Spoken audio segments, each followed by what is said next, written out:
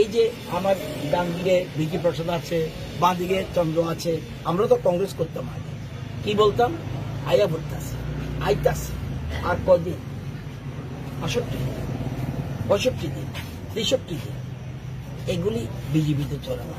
BJP এমন একটা দল, বিয়াল্লিশ বছরের মধ্যে বিজেপি সারা পৃথিবীতে সর্বশ্রেষ্ঠ দল হিসাবে আজকে দাঁড়িয়েছে। সুতরাং বিজেপি এসব নিয়ে চিন্তা করে না কে কি বলল এসব নয়। বিজেপি প্রথম হলো এরা দেশ ন্যাশনালিস্ট পার্টি এবং উন্নয়নের পক্ষে অন্তিম ব্যক্তি যে তার ডেভেলপমেন্ট নিয়ে বিজেপি চিন্তা করে। অন্য কিছু নিয়ে বিজেপি চিন্তা করে না। আর আমরা নেগেটিভ এসব প্রচারে বিশ্বাসী নই। আমরা যা কিছু করব পজিটিভ প্রচারে। বলছেন এরকম ধরা পড়তে মানে কি বলবেন সেই বিষয়ে? আমি আগামী দিনে তৃণমূল পশ্চিমবঙ্গে কি হতে যাচ্ছে শুধুমাত্র এখন তো একটা ট্রেইলার দেখছেন। এখন তো ট্রেইলার দেখছেন, আগামী দেখেন কি হয়।